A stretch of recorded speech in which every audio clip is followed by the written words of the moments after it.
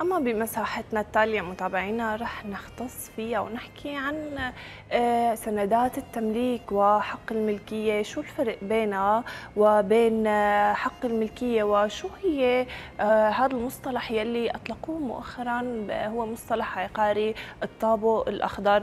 كثير أشخاص ممكن يتعرضوا للنصب للاحتيال للغش للتزوير أوقات بسند التمليك وما بيعرفوا شو ممكن يساووا وممكن أوقات بعض المحاميين ما يعطون الخطوات الصحيحة أو المعلومات الصحيحة كمان. في بعض الناس بتغش بهذا الموضوع.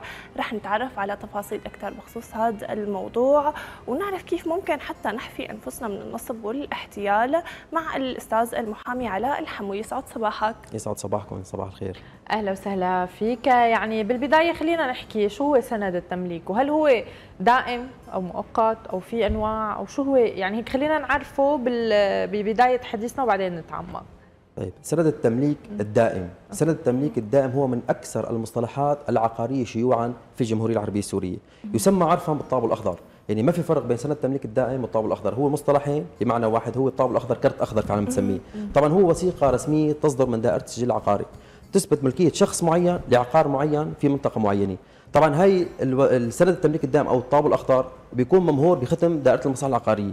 طبعا هذا الختم يكون يعطيه حق الملكية بهذا العقار، طبعا في حسب طبعا دائرة التسجيل العقاري للمنطقة التي يتبع لها العقار التي خضعت لمناطق التحديد والتحرير، وقت بنقول وثيقة رسمية ممهورة بختم دائرة المصالح العقارية، فنحن هذا الشخص اللي بيملكه بيتمتع بحق التصرف والاستعمال والاستغلال، يعني حق الملكية، كثير ناس تقول لك شو حق الملكية؟ إنه بس تصرف، لا، حق الملكية بيشتمل على ثلاث شروط اللي هي حق الاستعمال اللي هو طبعا سكن البيت، الاستغلال. قد يكون في اجره في يستثمروا وحق التصرف اللي هو أقوى حق هو حق بيعه أو وهبه إذا أراد ذلك. فهي هو سند التمليك الدائم. طبعا يصدر عند دائره المصالح العقارية بختم رسمي آه، بيستلمه صاحب العلاقة حصرا أو وكيله القانوني في حال عدم وجود صاحب العلاقة. بيعمل وكالة يستلم هذا السجل بيعطى لمرة واحدة. هذا هو سند التمليك الدائم. بس في ناس بتقول لك شو مستند ملكيتك؟ في فرق بين سند التمليك شو بيقول له مثلا واحد بده يشتري عقار. فبيقول له شو مستند ملكيتك؟ بيقول له طابو أخضر. بيقول له مثلا آه، حكم محكمي مكتسب الدرجة القطعية. ممكن يقول إنه هذا العقار آه، حصه على الشيوع. ممكن نقول له سجل مؤقت. في هلا سجل مؤقت. طبعا للاراضي اللي ما خضعت الافراز ممكن يكون وكالة غير قابل عزل فنحن وقت ما نبحث بشراء عقار لازم نعرف مستند الملكية شو هو. هل هو طابو أخضر مصالح عقارية؟ هل هو حكم محكمي لنبحث بأصل هذا المستند. هي هو سند التمليك الدائم أو الطابو الأخضر المعروف عرفا بسوريا. أوكي أستاذ يعني في أشخاص ما بيعرفوا ممكن إنه بدهم يعرفوا إذا هذا العقار مسجل أو م. شو هي الطريقة يلي مسجل فيها هذا العقار كيف ممكن يعرفوا هي هلا طبعا لكل عقار له صحيفة عقارية. هاي الصحيفة العقارية الشخص اللي بده يبحث عن عقار ما اليوم صار في شيء بدائرة المصالح العقارية اسمها شعبة الهجائي الشخص بيقدم طلب لشعبة الهجائي باسم ثلاثي لهذا الشخص. مثلا أنا بدي أشتري عقار بمنطقة معينة. بقدم طلب لشعبة الهجائي إنه هذا الشخص هل هو يملك هذا العقار؟ فوظيفة دائرة المصالح العقارية تعطيك ملكية هذا الشخص ممكن يكون أكثر من عقار فهل هو رقم العقار مطابق للشيء بدي اشتريه أنا؟ فاليوم شعبه الهجائي بأي دائرة مصالح عقاريه في منطقة العقار بتقول لك مثلا هذا العقار آه، مالكه شخص كذا كذا. طبعا شو هو سند التمليك؟ بيكون في موضوع العقار نوعه آه، هل هو أميري هل هو ملك هل هو حصة على الشيوع هل هو مستملك عليه إشارة مثقلة بالإشارة قد تكون في إشارة دعوة إشارة حصة احتياطي حصة تنفيذي.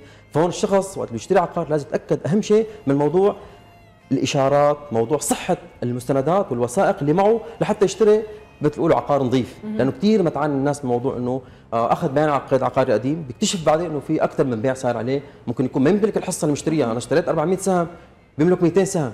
لأنه في ناس ما بتاخذ سند التمليك آه، بشكل فورا. ممكن يكون ورث ما توفى شخص أبوه الورث يستلموا يعني مات شخص أبوه ورثهم بيت فصاروا كلهم مالكين لهذا البيت ارثا. يعني كل شخص حسب التقسيم.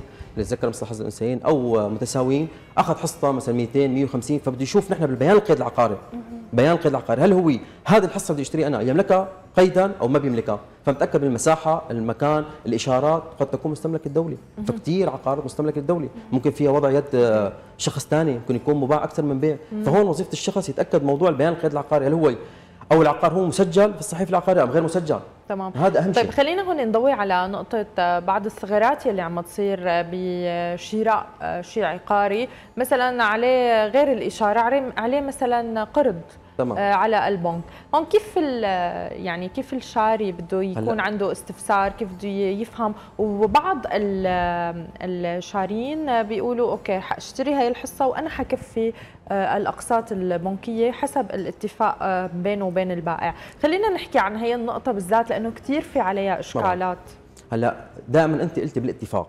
دائما عندنا بالقانون السوري الاتفاق شريعة المتعاقدين. العقد شريعة المتعاقدين. بمعنى وقت بيتفقوا طرفين إني أنا أشتري العقار مثقل بهذه الإشارات فأنت بتتحمل هذه المسؤولية. بس أستاذ علاء في أغلب الناس هن غير موجودين بالبلد وفي ناس هن عم تتفاوض عنهم وفي ناس هلا ما كثير عندها علم باستشارة آه، قانونية أو أو عندهم علم بمحامي لحتى يجوا يقعدوا يعني هي اختصاص المحاكم والمحامين وقت ما نقول نحن شخص بده يشتري عقار وكل محامي. يعني نحن عندنا نسجل هون بنفرق بين سند التمليك القيد العقاري يعني نحن بنقول سند التمليك هو سند التمليك لمرة واحدة يعطى لمالك العقار حصرا أما لما نقول بيان قيد عقاري فهون لازم كل دعوة عينية عقاريه تتسجل وبتشتري عقار. انت واجبك واصولا كمحامي نحن أو كشخص عادي يطلب بيان قيد عقاري لهذا العقار جديد. ليش؟ ليتأكد من الإشارات المثقله، يعني مثلا أنا وقت بدي وكل شخص يشتري لي عقار واجبه ك...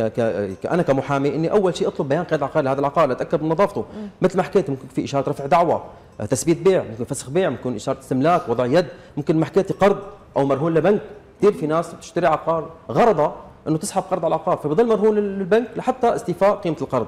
بس في ناس تشتري.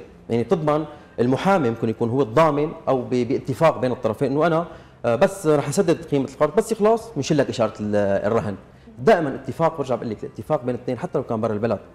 البرا البلد ما يوكل المحامي كمهني وظيفته يتأكد لك من سلامة العقار من صحة العقار وصحة البيع لحتى ما نفوت بعدين مشكلة فسخ البيع أو موضوع تثبيت البيع. كثير هلأ المحاكم تعج بشكل كامل موضوع خلافات موضوع آه، حصص سهمية آه، إشارات مثقله جديدة بيوع عقارية متكررة موضوع تزوير بالبيانات القيد العقارية كثير صارت بسبب الأزمة اللي صارت. آه، فلازم نحن كوظيفتنا أول شيء نطلب بيان قيد عقاري العقار لنعرف مساحته ملكية هذا الشخص للمساحه الفعلية مثلا أنا بدي أشتري 100 سهم هل هو يملك هذه ال 100 سهم أم يملك مثلا آه، جزء؟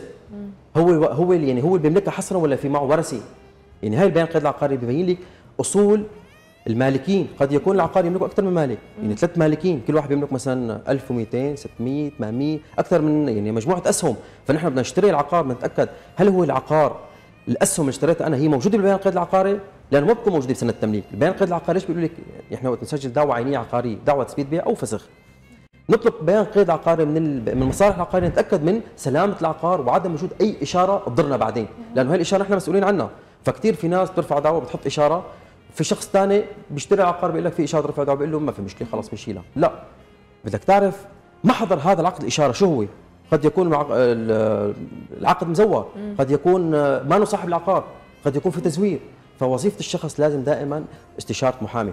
طبعا مو نحن بنشجع ضروري بس لازم يروح على دائرة المصالح العقارية يتأكد من صحة سلامة العقار. المستندات الملكية آه، إذا في استملاك إذا في آه، رهن إذا في آه، حجز احتياطي. كثير في محاكم تصدر قرار بحجز على الاموال المنقوله وغير المنقوله الغير المنقوله فهي ممكن تكون عقار. فالدولة ممكن تضع إيدها على العقار فأنت لازم تنتبه لموضوع بيان القيد العقاري بأي عند شراك لأي عقار بأي منطقة. لأنه كل عقار له صحيفه عقاري برجع بقول بس تختلف قلت لك بين مستند الملكية هل هو طابو أخضر أم مخالفات أم كاتب عدل؟ فهون بدك تبحث أنت بأصل ملكية هذا العقار لحتى تحسن تشتري. طيب. هي أهم شيء. أوكي أستاذ المعلومات يلي حكيت عنها إنه نحن فينا نجيبها من دائرة المصالح العقارية. فيه أي شخص يروح ويسأل بذات نفسه لحتى يطمن ولا حصرا لازم يكون المحامي المسؤول؟ هلأ صاحب العلاقة بحق له يسأل دائرة المصالح العقارية. وقت أنا بدي أشتري عقار فيني أنا أطلب آه، طلب كثير يسير. طلب إخراج قيد عقاري وكثير دائرة المصالح العقارية بدمشق ريف دمشق بأي محافظة كثير بيسروا الأمر. إنه أنت ليش هدفك بيان قيد العقاري؟ أنا بدي أشتري عقار بدي أتأكد من نظافة هذا العقار، هل هو اللي بدي أشتري منه هو صاحب العقار؟ هل هناك إشارات على العقار؟ هل في استملاكات؟ فلا فوق أي شخص ممكن صاحب العلاقة ممكن وكيله القانوني بس هلأ دائما دعاوى تثبيت البيع أو دعاوى الشراء اللي يعني بعد ما يكون في عقد بيع نحن مضطر بدعوه تثبيت البيع نحن نطلع. على دائره المصلحه العقاريه نقدم طلب قيد عقاري نتأكد من سلامة هذا العقار. طيب مشان ليش بيقلقوا الأشخاص وقت بيكونوا عم يسألوا البائع إنه هذا حكم محكمة ولا في كاتب عدل ولا آه، تمليك ليش بيخافوا وقت بيسمعوا إنه في قرار محكمة أو إقرار محكمة؟ صح. هي الأمور آه، شو هي الأضرار لهذا الموضوع؟ هلأ مو الضرر. نحن بدنا نحكي بأقوى أنواع الملكية هي الطابو الأخضر. أنت خلص أنت لك محضر عقد أو لك آه، بلك بمنطقه معينة طابو أخضر ما حدا في ينازعك بالملكية.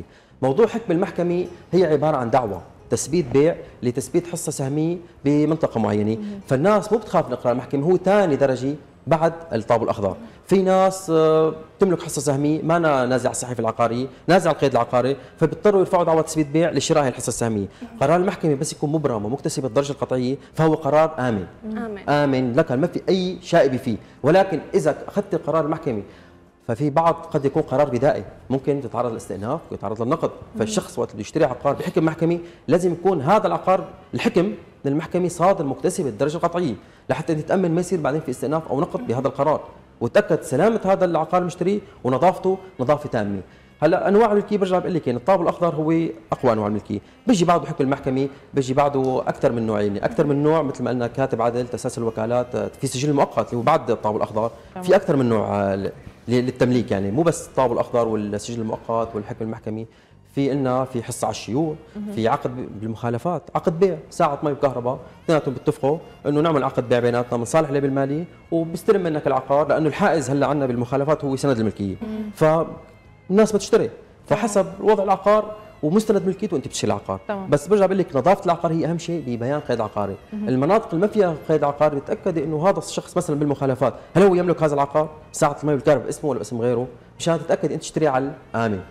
بس هذا أهم يعني موضوع. ما في داعي للمخاوف يلي بيخاف الشخص من قرار المحكمة أو إقرار المحكمة؟ هلأ نحن المحاكم لها قرار لها حجية. ما فينا هو- قرار المحكمة ملزم مم. للأطراف. يعني مو إنه والله إذا اخذت قرار محكمه معناته غير امن لا.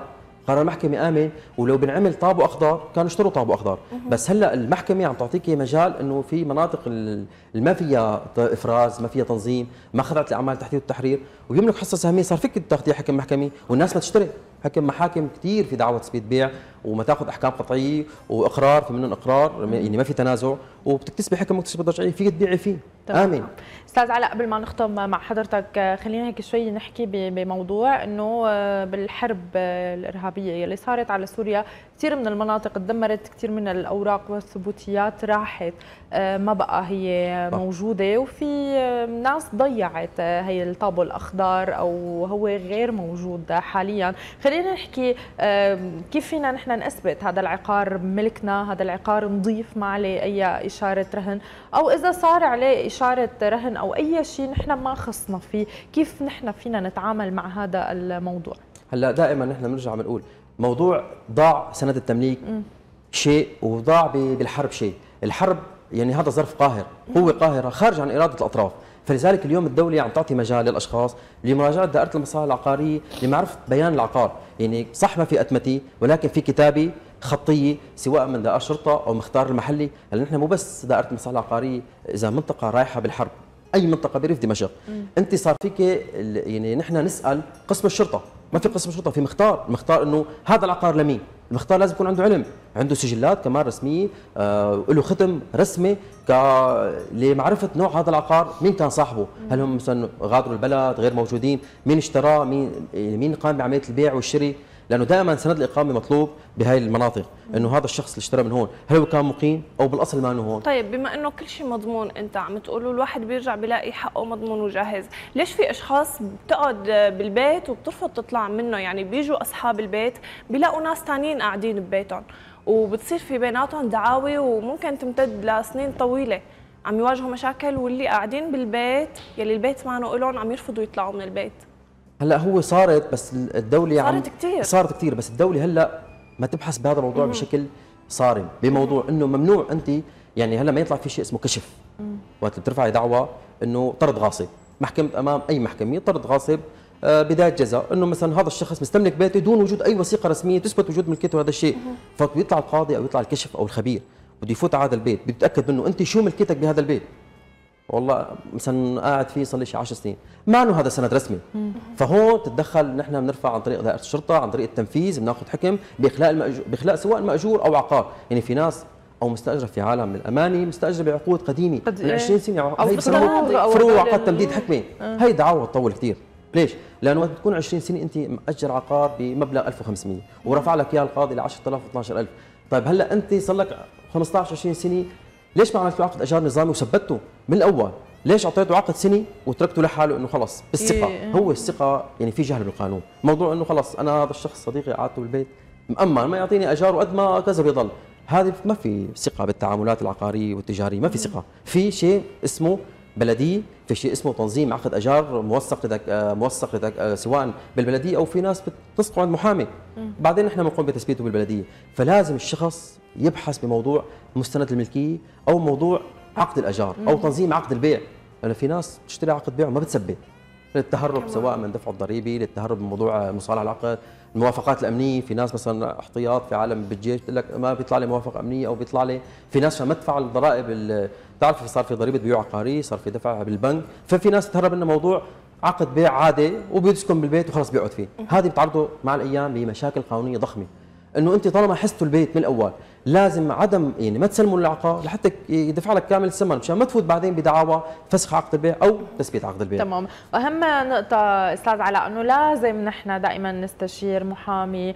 آه، ما نت ما نت هيك نت نتغاضى عن موضوع الاستشاري المحامي. كثير مهم لحفاظ حقوقنا آه، لحتى نحمي حالنا آه، ونحمي عقاراتنا الموجودة بغض النظر عن الظروف. شكرا كثير لحضرتك شرفتنا أهلا وسهلا فيك.